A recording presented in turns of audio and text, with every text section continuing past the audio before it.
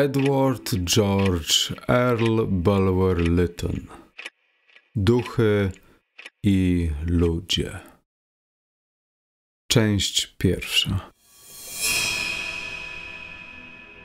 Mój przyjaciel, literat i filozof powiedział mi kiedyś pół żartem, pół serio. Wyobraź sobie, ostatnio odkryłem dom, w którym straszy i to w samym centrum Londynu. Naprawdę straszy? A co, duchy?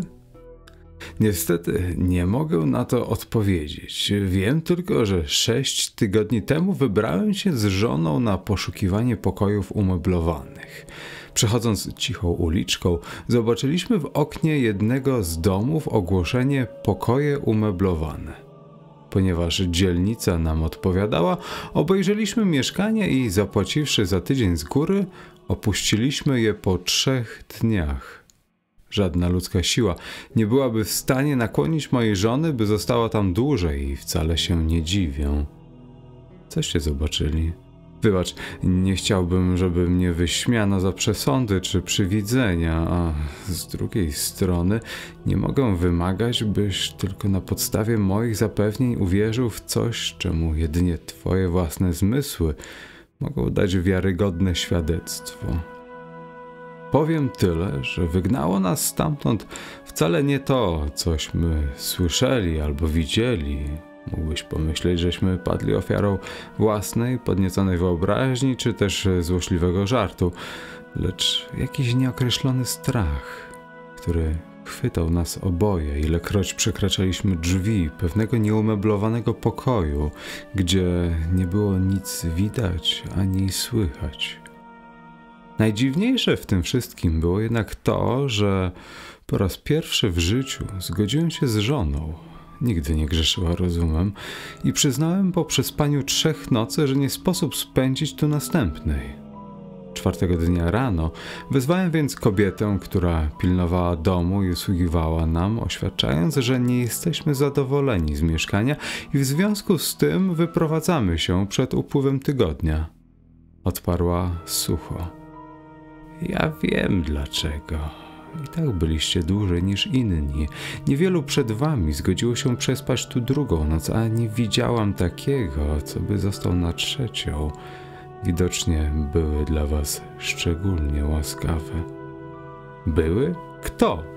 spytałem z wymuszonym uśmiechem. No, te, co straszą w tym domu, obojętne kim są, mnie one nie przeszkadzają.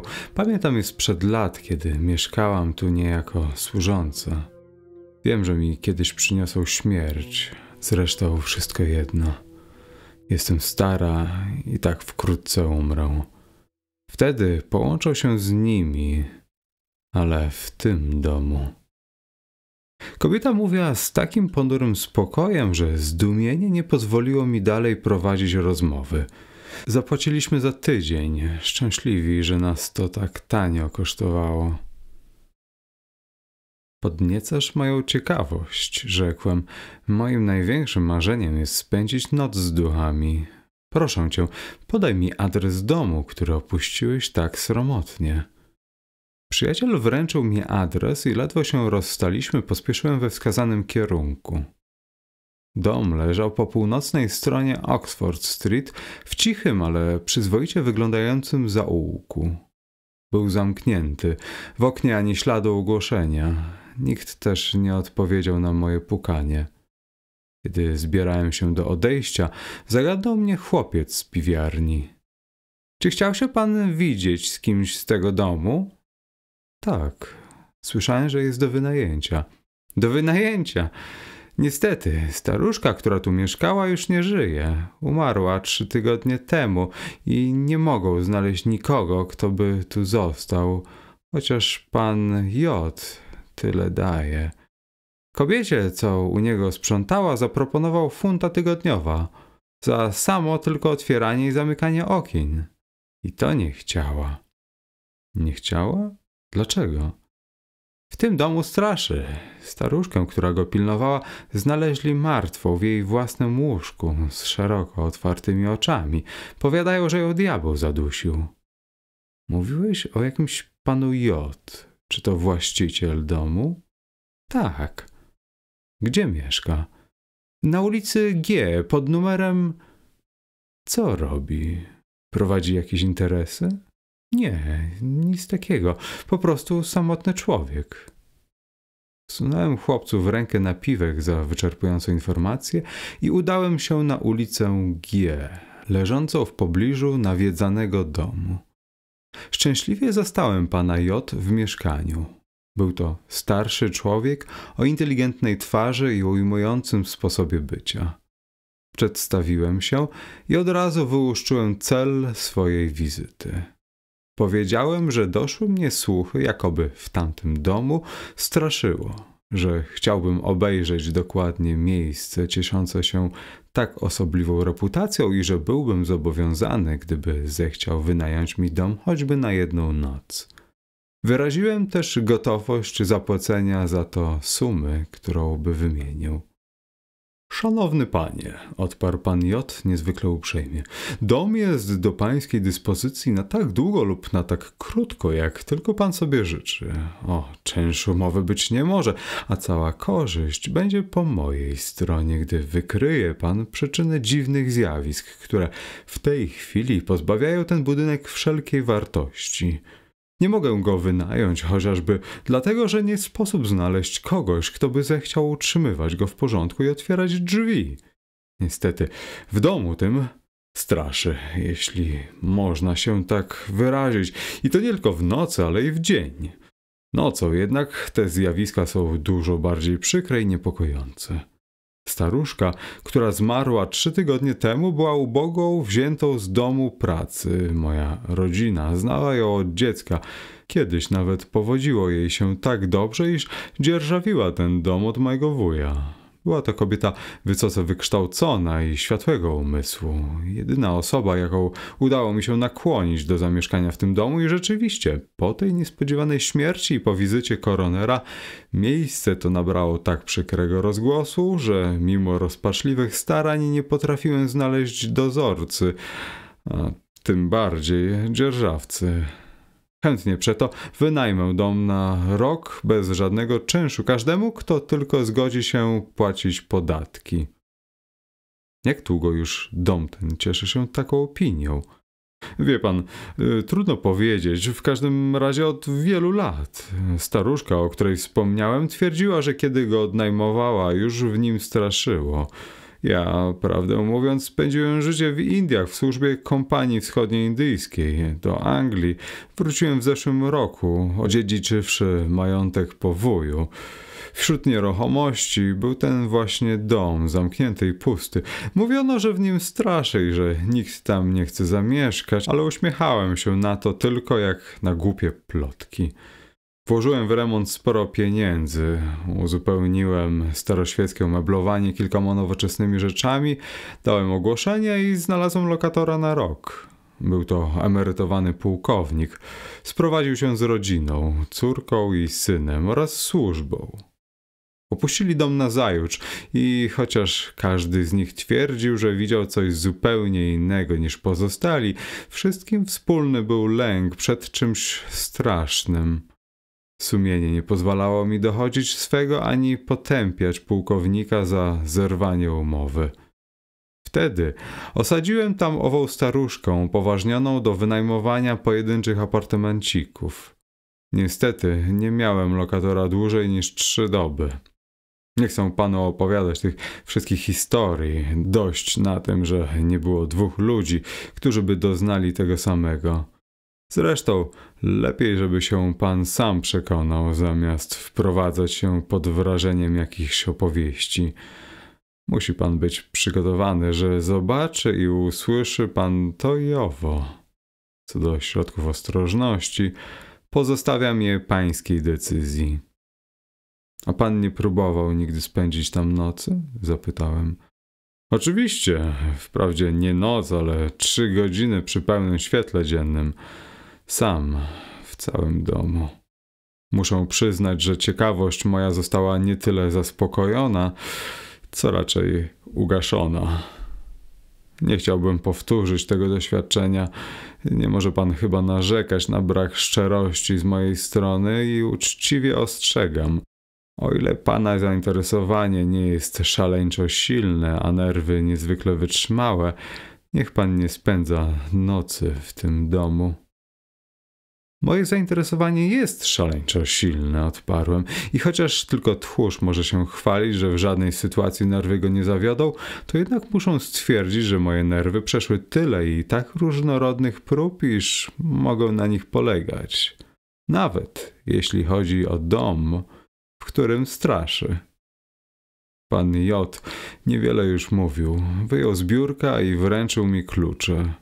Dziękując mu serdecznie za szczerość i zgodę, uniosłem swoją zdobycz. Natychmiast po przyjściu do domu, szalenie zniecierpliwiony, wezwałem zaufanego sługę, młodego człowieka o niezwykle wesołym usposobieniu i niezrównanej odwadze, a poza tym całkowicie wolnego od jakichkolwiek przesądów. F, odparłem. Czy pamiętasz, jak bardzo zawiedliśmy się w czasie naszego pobytu w Niemczech, nie znalazłszy żadnego ducha w tym zamku, o którym mówiono, że jest nawiedzany przez postać bez głowy? Wyobraź sobie, słyszałem o pewnym domu w Londynie, gdzie mam poważne powody tak sądzić, straszy nie na żarty. Zamierzam spędzić tam dzisiejszą noc. Z tego, co mówiono, Niewątpliwie coś daje się widzieć albo słyszeć, coś być może bardzo strasznego. Czy gdybym cię wziął ze sobą, będę mógł zawsze polegać na twojej przytomności umysłu? O, panie, proszę mi zaufać, odparł F, szczerząc zęby z zadowolenia. Dobrze, oto klucze od tego domu, a tu adres. Idź zaraz, wybierz dla mnie jakąś sypialnię, a ponieważ dom był niezamieszkany przez całe tygodnie, rozpal porządny ogień, wywietrz pościel i oczywiście postaraj się o świecę i opał. Weź mój rewolwer i sztylet. Sam też się zabezpiecz nie gorzej. Jeśli nie będziemy w stanie stawić czoła choćby tuzinowi duchów, jesteśmy do niczego. Przez resztę dnia pochaniały mnie sprawy tak ważne, że nie zdążyłem nawet pomyśleć o nocnej przygodzie, w której stawką miał być mój honor.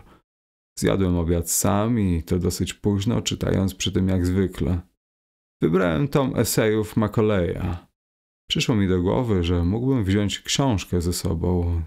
Tak jędrny był styl i tak praktyczne ujęcie tematów doskonałe antidotum na podnieconą wyobraźnię. Zgodnie z planem, około wpół do dziesiątej, wsadziłem książkę do kieszeni i leniwie powlokłem się w stronę nawiedzanego przez duchy domostwa. Zabrałem też mego ulubionego psa, niezwykle czujnego i odważnego bulteriera, który lubił nocami węszyć po nieznanych mrocznych zakamarkach i zaułkach w pogoni za szczurami – Jednym słowem, wymarzonego psa na duchy. Była letnia, ale chłodna noc. Niebo trochę mgliste i zaciągnięte chmurami. Mimo to przeglądał księżyc, słaby, jakby wymokły, lecz zawsze księżyc, obiecując, jeśli chmury ustąpią, przejaśnienie po północy. Zapukałem wreszcie do drzwi. Służący otworzył mi z wesołym uśmiechem. Wszystko w jak najlepszym porządku, proszę pana, i bardzo wygodnie. Tak, powiedziałem z nutą rozczarowania. I nie wiedziałeś ani nie słyszałeś nic osobliwego. Właściwie muszę przyznać, że słyszałem coś dziwnego. Co to było? Odgłos kroków za moimi plecami i raz czy dwa jakiś szmer koło ucha, coś jakby szept. Nic więcej. No i cóż, masz stracha? Ani trochę. Śmiałe spojrzenie młodzieńca upewniło mnie raz jeszcze, że bez względu na to, co się stanie, nigdy mnie nie opuści. Staliśmy w holu. Drzwi od ulicy były zamknięte. Zwróciłem teraz uwagę na psa. W pierwszej chwili wbiegł ochoczo do środka, ale natychmiast przyczołgał się z powrotem do drzwi, skrobiąc i skomląc, żeby go wypuścić. Pogłaskałem go po głowie i dodałem mu odwagi. Pies więc, pozornie pogodzony z sytuacją, podążył za nami. Zamiast jednak spieszyć przodem i wężyć jak zwykle na nowym miejscu, trzymał się cały czas mojej nogi. Najpierw zwiedziliśmy sutereny, gdzie mieściła się kuchnia i piwnica. W ostatniej znaleźliśmy parę butelek wina. Stały w skrzynce osnute pajęczynami, nieruszane od lat. Najwyraźniej duchy nie były moczymordami. Poza tym nie natrafiliśmy na nic ciekawego. Z tyłu domostwa leżało małe, mroczne podwórko otoczone bardzo wysokimi murami. Bruk tu obrósł mchem, płyty pokryła wilgoć i kurz. Idąc, zostawialiśmy niewyraźne ślady. I oto po raz pierwszy stałem się naocznym świadkiem przedziwnego zjawiska w tym osobliwym przybytku. Nagle tuż przed sobą zobaczyłem, jak odciska się ślad ludzkiej stopy. Przystanąłem, chwyciłem mego sługę za ramię. Jednocześnie równie nagle jak pierwszy, ale nieco przed nim powstał drugi ślad. Podszedłem szybko do tego miejsca. Niewidzialna stopa w dalszym ciągu pozostawiała małe, dziecinne ślady. Były zbyt niewyraźne, by określić dokładnie ich kształt, przypominały jednak zarys bosej stopy. Zjawisko to ustało, gdy doszliśmy do przeciwległego muru. Postanowiłem obejrzeć pokoje na parterze. Salon, mniejszy salonik i najmniejszy z nich pokój, który prawdopodobnie zajmował lokaj wszystkie ciche jak śmierć. Potem zwiedziliśmy jadalnie, które robiły wrażenie świeżych i odnowionych. Rozsiadłem się w fotelu we frontowym pokoju. F postawił na stole lichtarz, który rzucał na nas snop światła. Poprosiłem go, aby zamknął drzwi.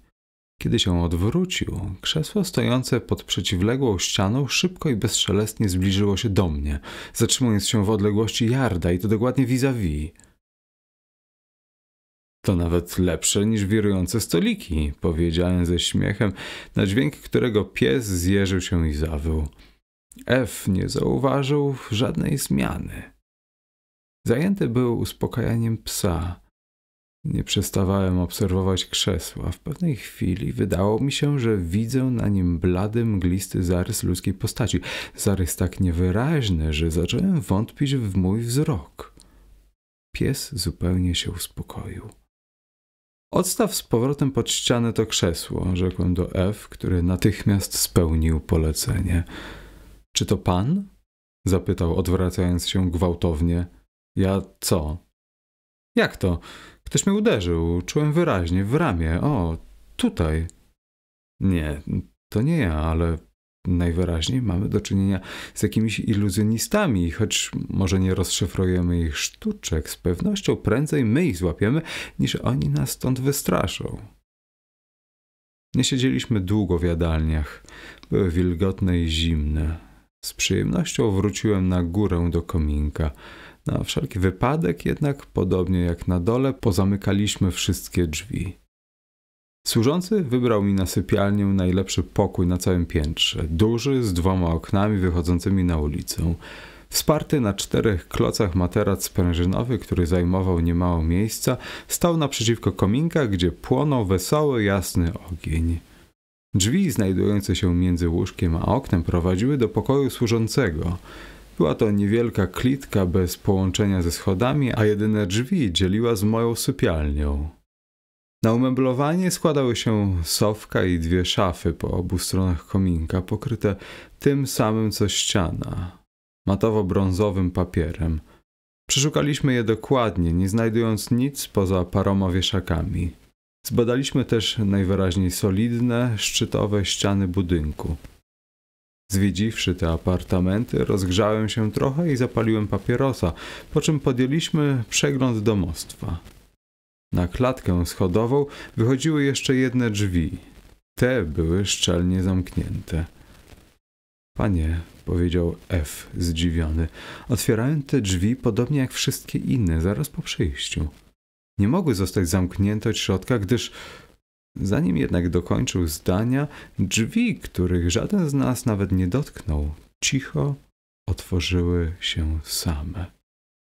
Spojrzeliśmy na siebie, rażeni tą samą myślą. Daje się tu wyczuć ludzka obecność. Rzuciłem się do drzwi pierwszy, mój sługa za mną. Pokój był mały, pusty, ponury, całkiem nieumeblowany. W kącie walało się zaledwie kilka starych skrzynek i koszyków. Małe okno zasłaniała okiennica. Pokój bez kominka miał jedne drzwi, te, przez które weszliśmy. Podłogi, starej, nierównej, stoczonej przez robaki, noszonej ślady licznych reparacji w postaci rozsianych tu i ówdzie jaśniejszych plam, nie okrywał żaden dywan.